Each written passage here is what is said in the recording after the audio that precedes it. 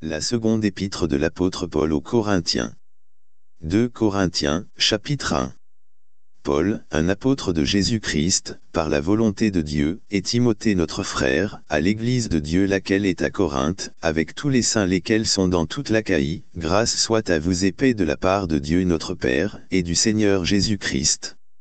Béni soit Dieu, c'est-à-dire le Père de notre Seigneur Jésus-Christ, le Père des miséricordes, et le Dieu de tout réconfort, qui nous réconforte dans toute notre tribulation, afin que nous puissions être capables de réconforter ceux qui sont dans quelque difficulté que ce soit, par le réconfort dont nous sommes nous-mêmes réconfortés de Dieu.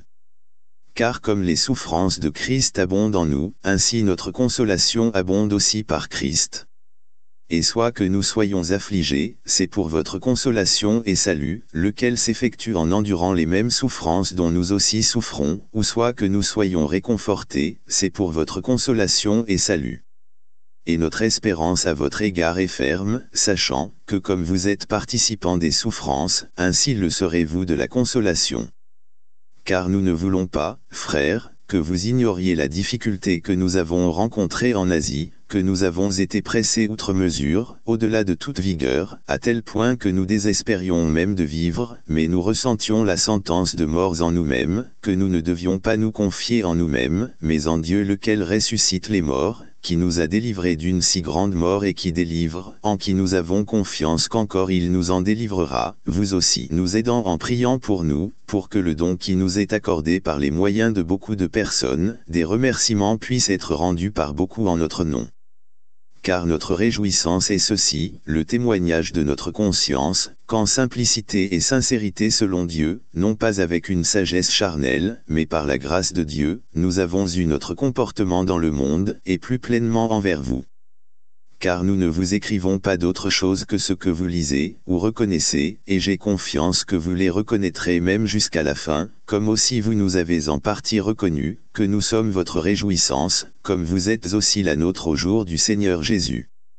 et dans cette confiance, j'étais enclin à venir vers vous d'abord, afin que vous puissiez avoir un second avantage, et de passer par vous en allant en Macédoine, et de Macédoine revenir de nouveau vers vous, et de chez vous être reconduit par vous chemin faisant vers la Judée.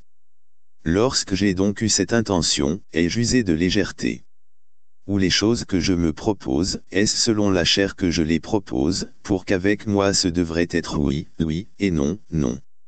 Mais comme Dieu est vrai, notre parole envers vous n'était pas oui et non. Car le Fils de Dieu, Jésus-Christ, qui fut prêché au milieu de vous par nous, savoir par moi, et Sylvain, et Timothée, n'était pas oui et non, mais en lui était oui. Car toutes les promesses de Dieu en lui sont oui, et en lui amen, à la gloire de Dieu par nous. Or celui qui nous établit avec vous en Christ, et qui nous a oint, est Dieu, qui aussi nous a scellés, et nous a donné les gages de l'Esprit dans nos cœurs. De plus j'appelle Dieu pour une attestation sur mon âme, que pour vous épargner je ne suis pas jusqu'à présent venu à Corinthe. Non pour que nous ayons domination sur votre foi, mais pour être des aides à votre joie, car par la foi vous vous tenez debout.